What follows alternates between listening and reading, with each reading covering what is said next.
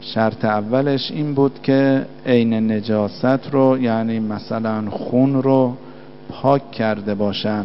تا وقتی که خود خون یا نجاست دیگری روی ساختمان یا زمین است هر چندم آفتاب بر او بتابد پاک نمی شود.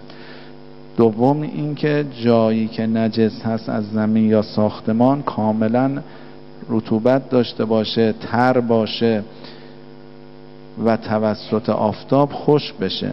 سوم شرایط این است که فقط آفتاب اون تری جای نجس رو خوش کند.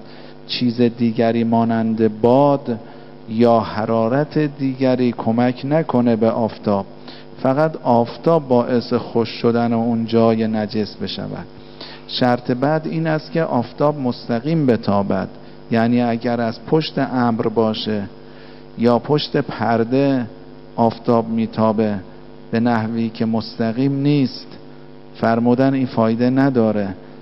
باید آفتاب مستقیم بتابه.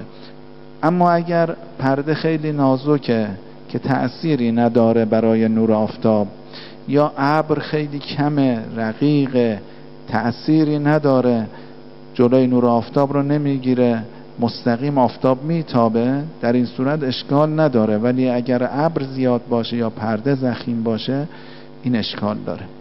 شرط آخر این است که به یک بار تابیدن مستمر خوش بکنه نه چند بار با فاصله.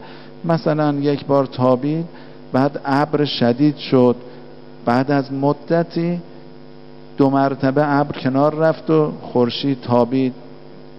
و بعد خوش شد این فایده نداره. باید تو یک نوبت مستمر باعث خوش شدن این مکان نجس بشود. مسئله بعد این است که اگر خون نجس مثل خون انسان جزء خون حیوانی بشه که خونش نجس نیست مثل پشه مثلا که پشه اگر خون انسان رو بمیکد و جزء خون خودش بشه جزء بدن او بشه در این صورت پاک میشه.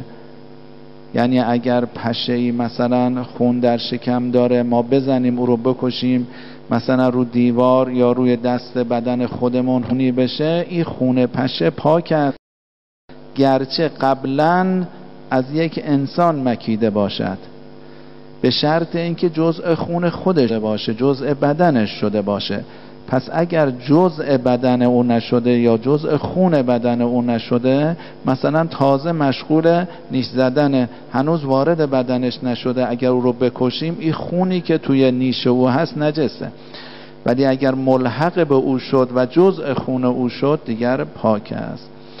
هدیه به پیشگاه مقدس آقا سید و شهدا سلام الله علیه.